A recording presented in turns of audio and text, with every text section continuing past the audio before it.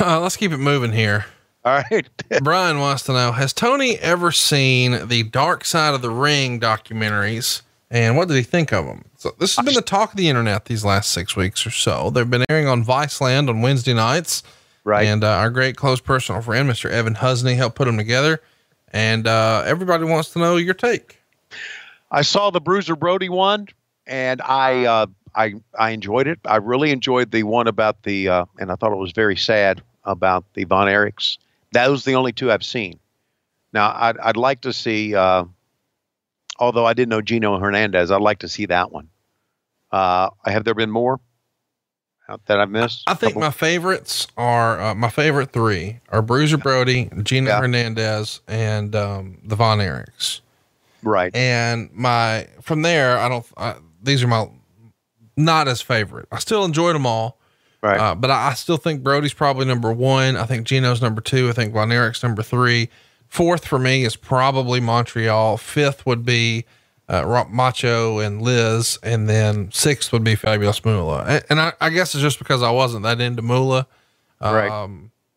But I think I was most into learning about uh, Brody's story, and I thought Tony Atlas's testimony was incredible. Yeah, I, I, the, all the Gino stuff was brand new to me, and it reads like a damn murder mystery. It's awesome, and uh, I knew the whole Von Erich story, but even my wife didn't, and she thought the Von Erich one was the best one. So if you haven't seen it, you should check it out. And if you were at Starrcast this past weekend, you saw them every single day.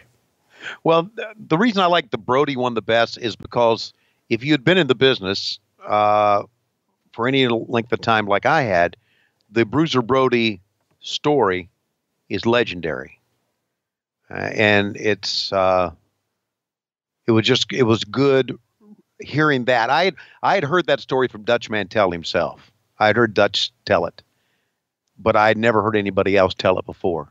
So I was very interested in it, and that's why I liked it the best. Um, Dan Dean wants to know. Every week, Tony Schiavone would tell us the tape machines are rolling. Yet yeah, we sure. almost never got footage the following week of what happened after Nitro went off the air. What's up with that? Well, the tape machines were rolling, but we didn't want to fucking show it to you. They were rolling for the library. The uh, library. Thank you for pronouncing it properly. Thank you. Uh, David wants to know: Do you know the ideal temperature of Triple H's water? The idea, yeah, the the idea, it's uh, forty three point six degrees. That's uh, right. Team Louie wants to know when Tank Abbott put a knife to Big Al's throat after their leather jacket on a pole match live on pay per view.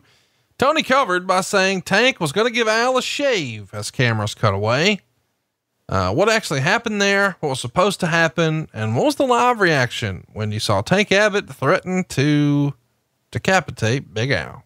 Well, no one expected that to happen. That was not quote unquote in the script, if you even think there was a script. Uh, that was just uh, Tank Abbott being Tank Abbott.